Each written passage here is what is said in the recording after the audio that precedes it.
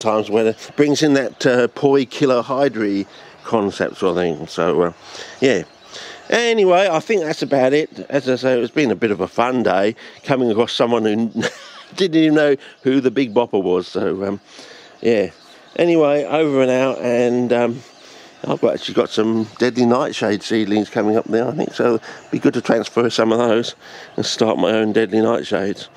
And uh, yeah, I love the what I do like is that purple stem.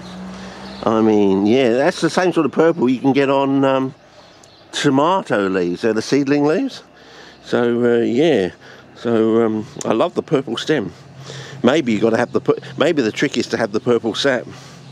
Maybe that protects the plant from uh, diseases. So.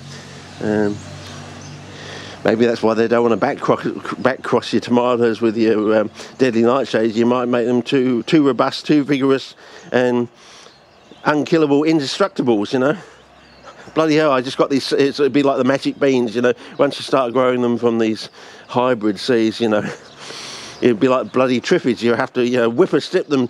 Get back! Get back! I'm joking. I'm pointing your leg across. You know, can't bloody kill a tomatoes or the. get back. I can't kill these things, you know. yeah, yeah, yeah. Oh, I always think, as I said before, I always think that the um,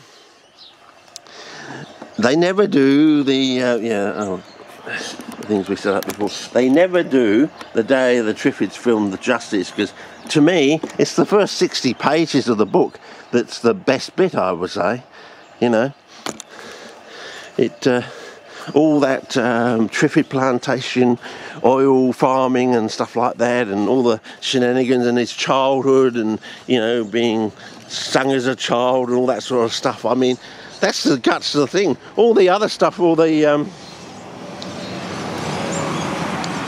all the social politics. Um, in in the latter half of the the book um, does nothing for me. Basically, does absolutely nothing. Yeah, Aggies, Agapanthus. Adelaide and some one of the towns in New Zealand they call us the um, oh fence post has come off almost crushed it bugger but it doesn't look like it's come off from there that's a bit strange I think someone's pulled that off or something but because uh, it's not from that fence there okay Anyway, so uh, yeah, they call us the Ag Ag Adelaide, the city of churches, the Agapanthus capital of the world, sort of thing. Know, almost like a, a stake up in Queensland. You just stick it in the soil and it will grow, sort of thing. And they flower. Oh, December, January, February, basically. So the, getting into the uh, the early part of the yeah the the summer or the uh, uh, the middle of the dry sort of thing. So um, yeah. Anyway, uh, that's about it for all. I don't think the sun's going to stay out for too much longer. We had a whole dump of rain earlier, and I just thought I'd make this uh, um, thing. I said I think we've got direction now, and um, as I said, the answer is not what you think.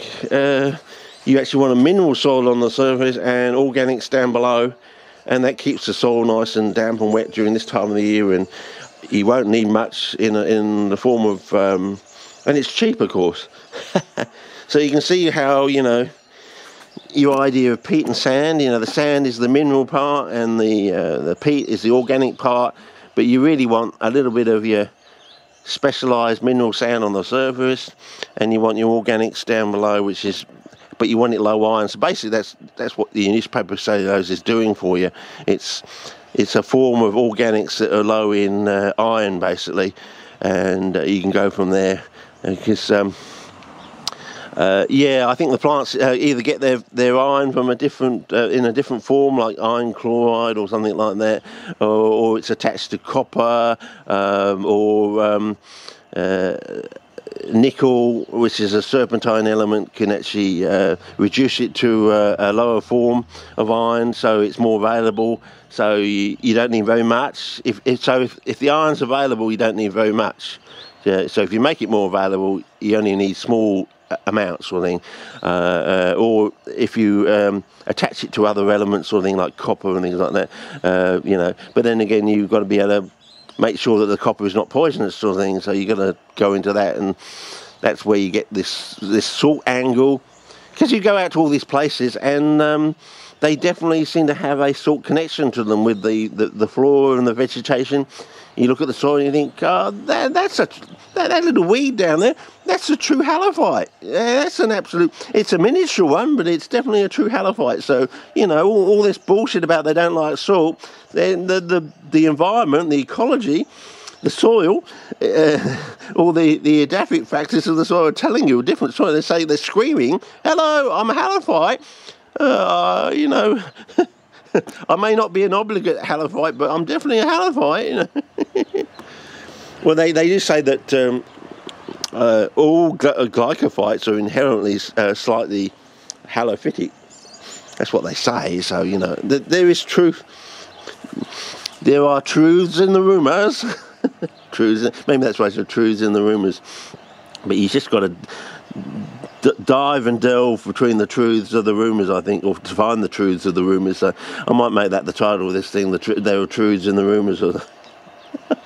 But uh, anyway, I'm losing the sun now. As I said, it's uh, the sun's setting, and we had a lot of rain. There's a lot of rain on the way. We are now uh, truly in the wet for this year, uh, 2022, and uh, it should be a good year, a fun year. As I said, basically, I've solved all the problems now now just got to sit back and watch them grow and uh, you know make it as simple as possible and I think the simplest possible I'm going to try is just organic with um, see charcoal has the unusual ability of pulling the pH in from both ends. So in other words it will make acid soils less acid and it'll make alkaline soils less alkaline. So taking that into consideration, do you view charcoal as organic or inorganic? You see, I think charcoal can be viewed in both in both ways, and maybe it can be both organic and inorganic exactly the same time for different reasons, sort of thing. So, by putting um, uh, your uh, your organic newspaper cellulose on the bottom and putting your charcoal on the top, maybe the charcoal on the top is acting like a mineral soil, even though you think it's organic normally it takes a long time to get going, uh, you know, four to six months. But being on the surface of a nice wet bucket of newspapers, maybe we can get it going in a few weeks. Anyway, that's what I'm going to set up, and they'll be on the next video basically. So if you want to tune in for that, I'll set it up, put some of these sort of groups of plants in there, and we'll give it a go and see what happens. We may be pleasantly surprised. Okay, see ya.